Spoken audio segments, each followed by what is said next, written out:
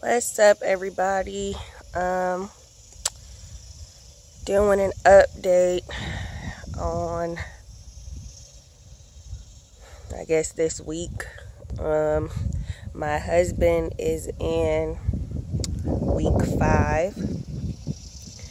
He's still in White Phase. Um,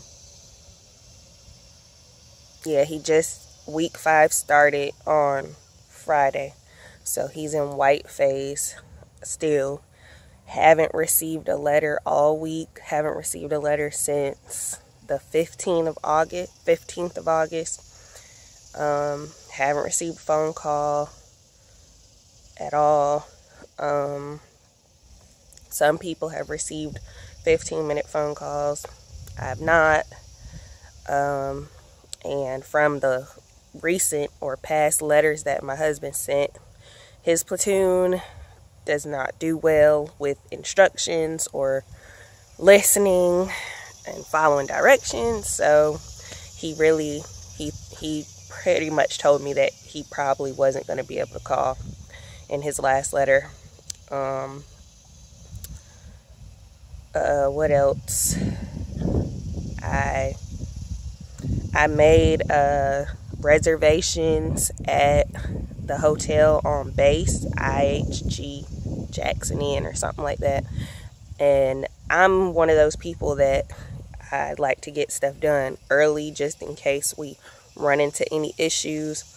So I his graduation date, well, family day is the 4th of October and graduation is the 5th of October. So um yeah, I already made reservations and I plan on stay. Me and my son are gonna stay there um, up until Saturday, um, and then come back home on Sunday because you know he has school and so do I. Morning, and um, that's pretty much it for now. Um, no letters today is Saturday. So maybe I'll get a letter, maybe not, probably not. But that's about it. Um, it's getting, uh, I can't say that it's, it's getting any easier. It's still hard. Like, it's still difficult. I still get sad. Um, and I thought it was going to get easier, but it's become more bearable, but it's definitely not easier. But we have four more weeks to go.